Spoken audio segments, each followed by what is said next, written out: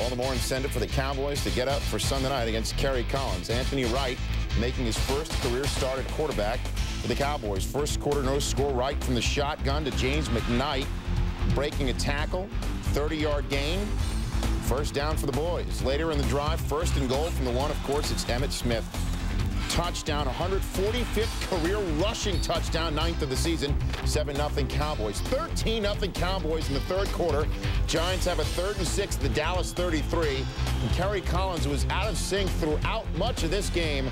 Gets in sync with Amani Toomer. Touchdown, 33 yards, 13-7 ball game. That's your score in the fourth quarter. Third and nine for the Cowboys. Eight and a half to go right. Picked by Emmanuel McDaniel. And the man who coordinates the defense is loving. John Fox excited because the next play, Tiki Barber, I believe he's the lightning in the Thunder and Lightning. 13-yard touchdown, 14-13 Giants. Less than a minute to go. Michael Wiley stuffed by Jessie Armstead.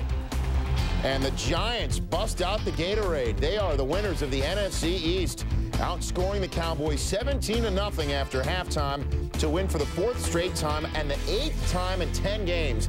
They clinched their first division title since 1997, which is also, by the way, the last time Dallas lost 10 times in a season.